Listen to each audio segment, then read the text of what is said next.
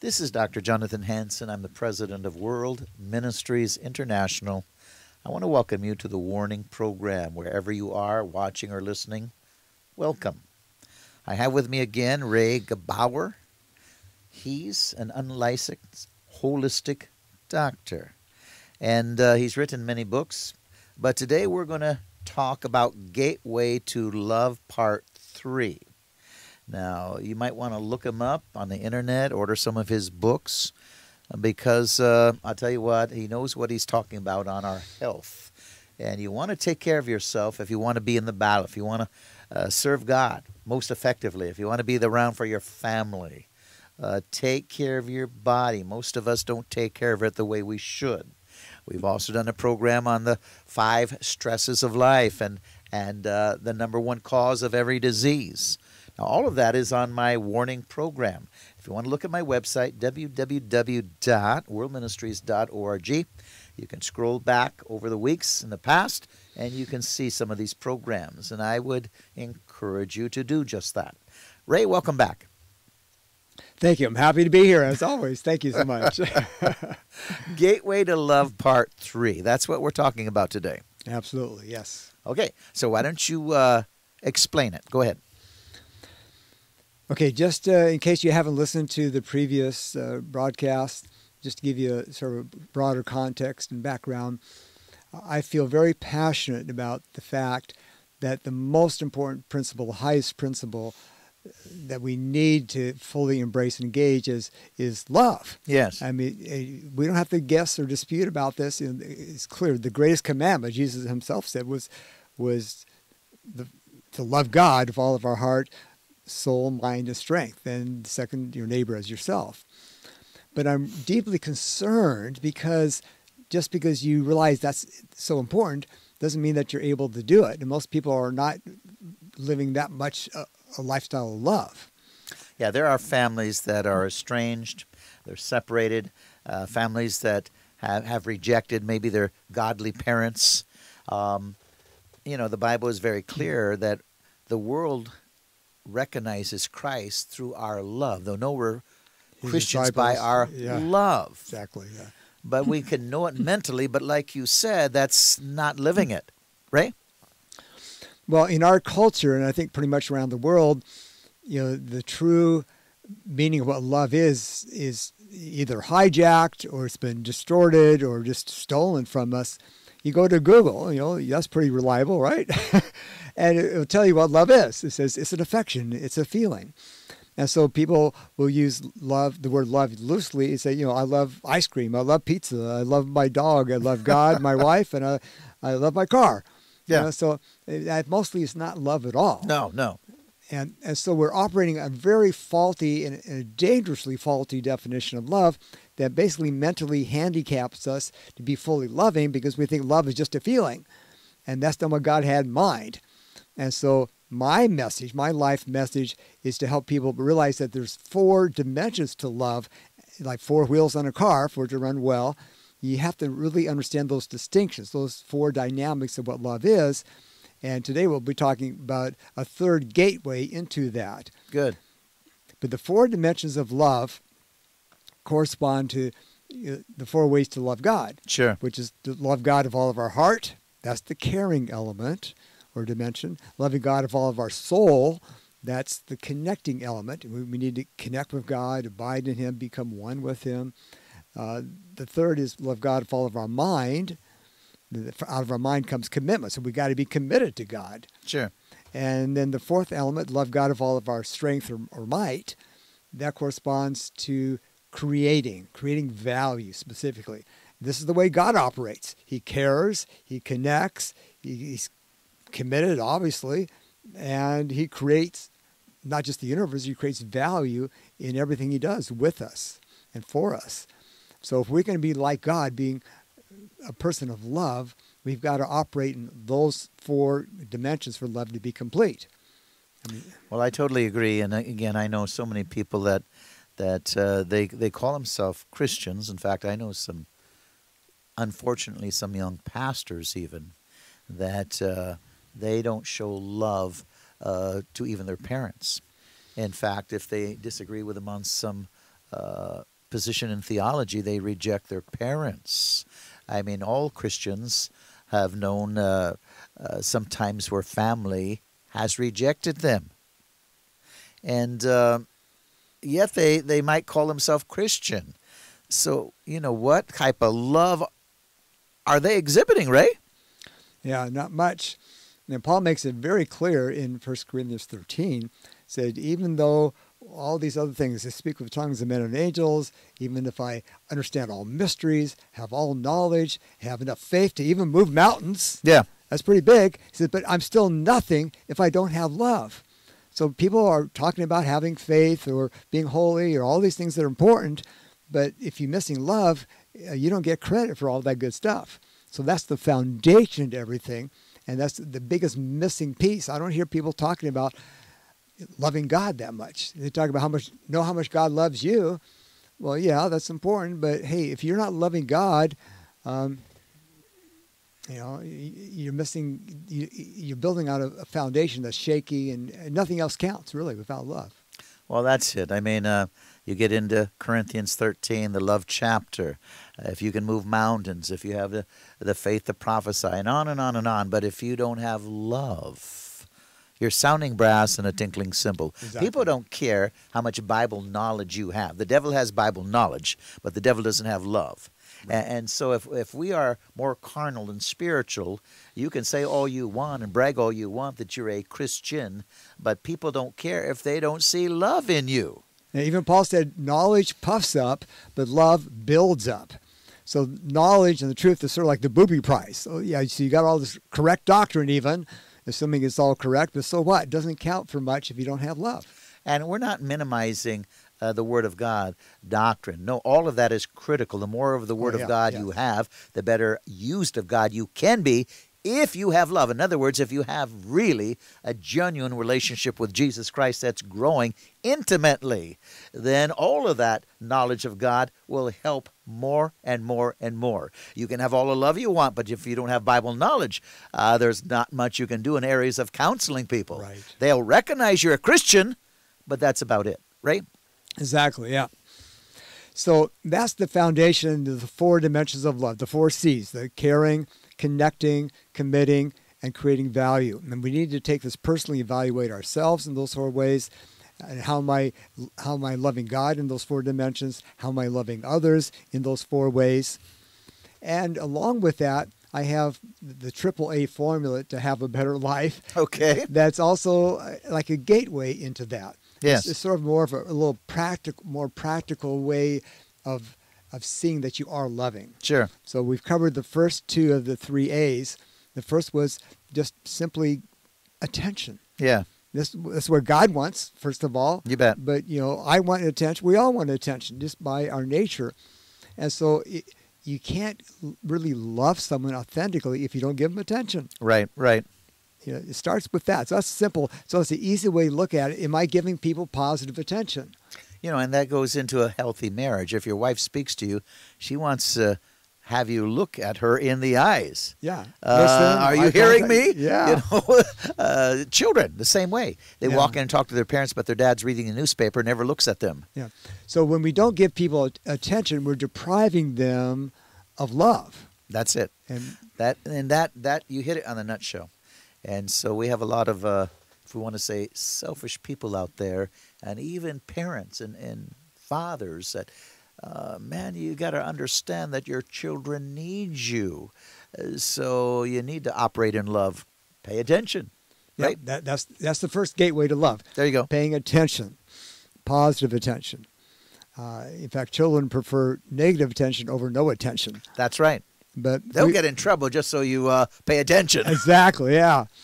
But, you, but we never outgrow that. Even God still wants our attention. And if we, we don't give Him enough attention, we get in trouble, That's right. big trouble. yeah, we get, we we get our spanking from our Heavenly Father, so to speak. exactly. He disciplines us. You Yeah, know? yeah, yeah. Yeah. And people give God no attention, we know where they end up in the lake of fire. You There know? you so go. It's, There you it's go. serious. So that's the, f- the first uh, uh, gateway to love, as I call it. Uh, the second gateway of love is similar, but it's like at a little higher level, and that is appreciation.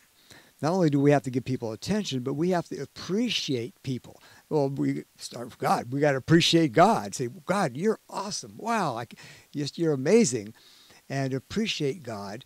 Not just feel it, where it starts. Feel appreciation, but express it and say, God, uh, you know, I love you. You're amazing, and we exalt you, and we, we sing songs to God, and so we give God attention and our appreciation, which you could call thanksgiving or praise but you know, but everyone else needs appreciation too. Oh, totally, totally. And in fact, again, just like you're supposed to give appreciation to your children, um, God wants to hear it too. Like you said, Ray.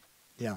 yeah. Uh, where we spend time appreciating Him, worshiping Him, talking to Him. So something as simple as giving someone positive attention, even just for a few seconds, and then on top of that, appreciation. I mean, that is a uh, can be a high impact gift. Yes. Isn't like you just appreciating, but that's a gift. It's, it's life enhancing, Good. life enriching. Good.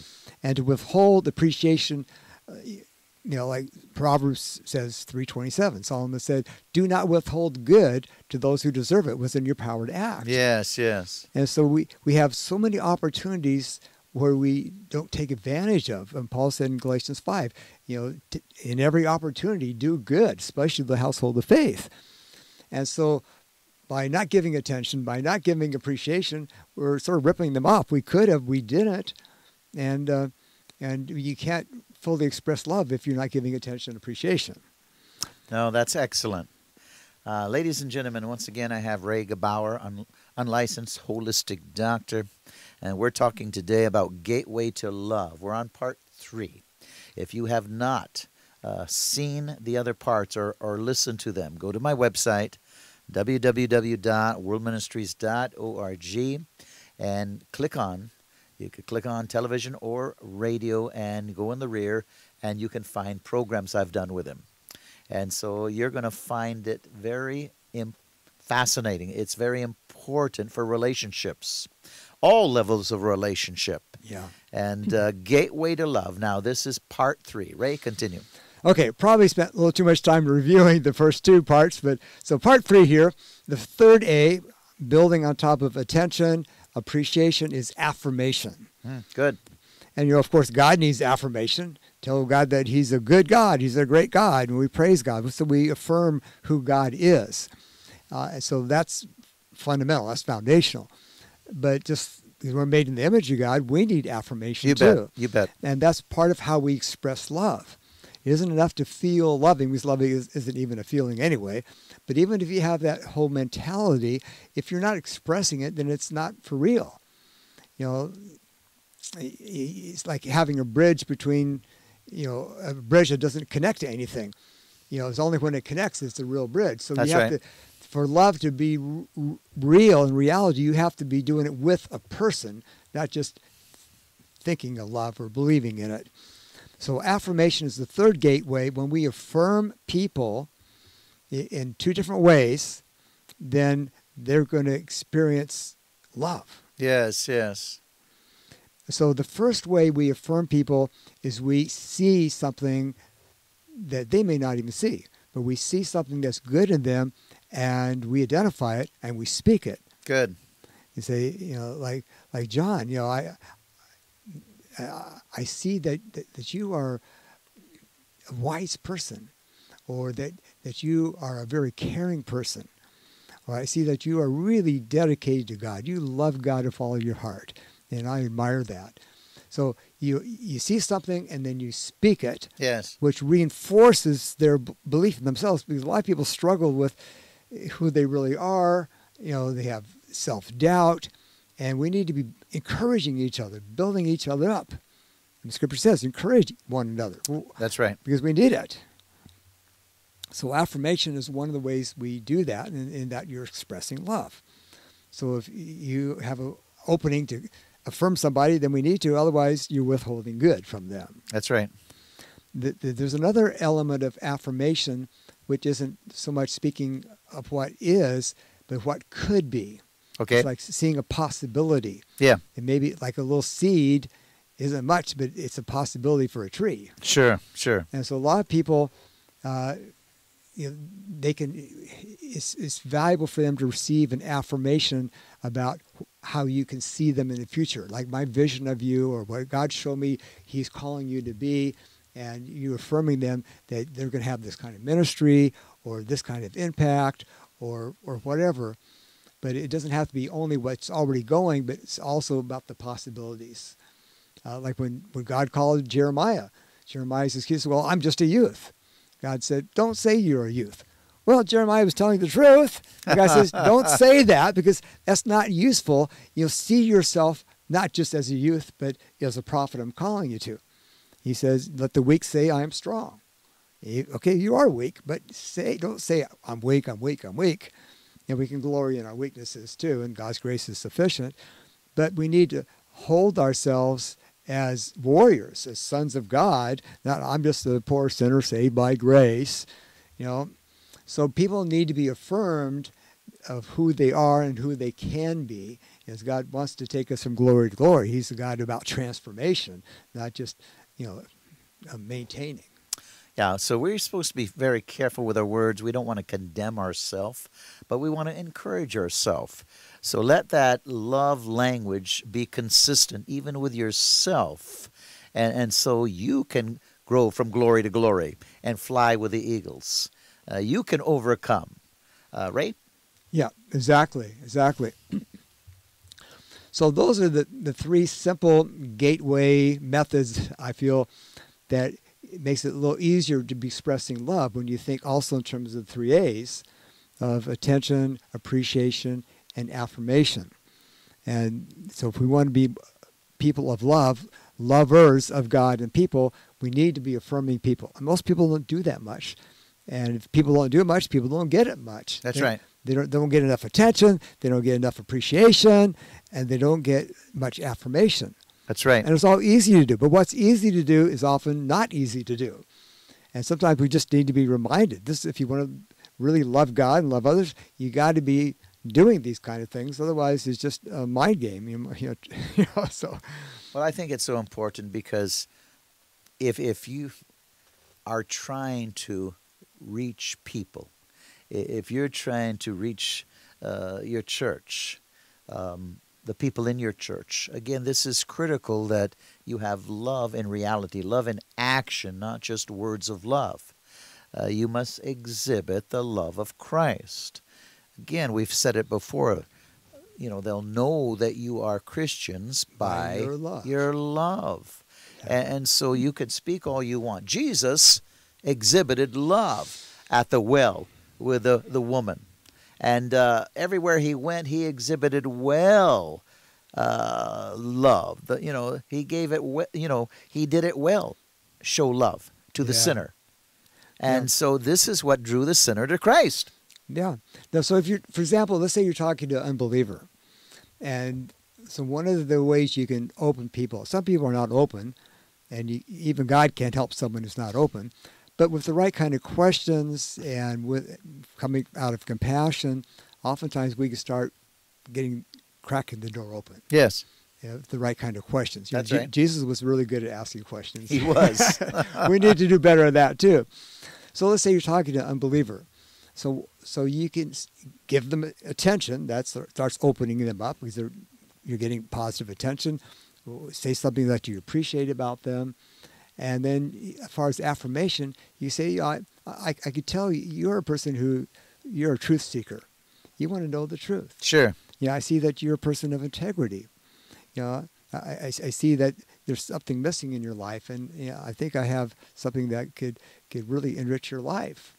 But you know, you want to you don't want to start off talking about their sin. I mean, you got to get to that point, repentance. You have to do that. But to to open them up for a conversation, they need to feel valued. You know, you know, they need to see that you're you're caring, you're you, want to connect with them, and you're committed to what's best for them, and you're creating value by spending time with them. And so, along with that, you know, think also of attention, appreciation, and what can you affirm about them that's already there, and as well as firm as a future possibility. You know, Well, that's very true. Uh, very true. I mean, um, you, you cannot clean up a fish until you catch the fish. Yeah. Uh, and so, if we're going to catch people, make fishers of men, you do it by showing them love. yes. And then later on, you know, their life changes, they get cleaned up. But the f- starting point is love. yeah. And calling people to repentance is part of our loving people. Yes, it is. Yes, it is. Uh, if you want people to uh, have a future and a destiny, eternal life, you have to touch on these subjects. And this is why people accept Christ. Is they they do, they know deep inside there's there's a God, and they know deep inside most of them are afraid of meeting that God because they're not right with God. Yeah. And so you have to you have to touch on what separates you from God. Yeah. But all of it is done through love. Yes, that's got to be the foundation, the starting point. Uh, the goal, Paul said, the goal of our instruction is love from Yes. a pure heart. Yes. Now, another application to affirmation is using it on ourselves, Okay. and I think this is biblical. Uh, the word affirmation isn't in most translations, but, but but God has given us authority because He's given us authority. Like uh, we can declare. And so for me, declaration, affirmation is the same thing. So we need to declare that we are sons of God, for example, Yes. and affirm that we're not just some sinner saved by grace, but God loves us because we're valuable. God doesn't create junk. He doesn't save people that are of no value. The fact that He saves anyone shows that He- He values them. And so we need to affirm ourselves as, you know, I am a lover. I'm a lover of God. I, I love people. You know, I'm a person of integrity. Um, you know, I, I speak the truth. Um, I'm here to serve and help. Uh, I'm a son of God. I'm in full time ministry. If you're a believer, you should see yourself as a full time minister. Yeah. And and that's a good point, Ray, that Jesus he never pulled punches. Uh, he was very truthful with everyone, Yes. including the Pharisees, the Sadducees. Everything he spoke, uh, it was always the truth. But again, he exhibited that type of love, and so people still knew he cared about them, even when he challenged them. And so we have to exhibit that genuine love. Jesus was love, and he did it all so people would escape eternal damnation. Yeah. Right? Exactly. Here's a, a great historical example of a, a declaration, uh, which is the same as affirmation. Uh, couple hundred years ago, the United, well, the 13 colonies were just getting fed up with how they were being oppressed, and they got the point. It says, "W- w- "Enough is enough. We're not going to take this anymore," and uh, they declared themselves to be free. Yes. Now, were they free? No, they weren't free. And it took uh, seven years of a bloody war that they barely won in order to establish that freedom. But they, before the freedom actually happened, they declared, they affirmed that we are a free people ahead of time because it was a possibility and their commitment. So they declared that, even wrote it down. It's called the Declaration of Independence. And so God calls us to declare things that are not yet true because that's how it's a function of faith to declare. You can declare someone to be well. You don't always just ask God. Sometimes you just declare it.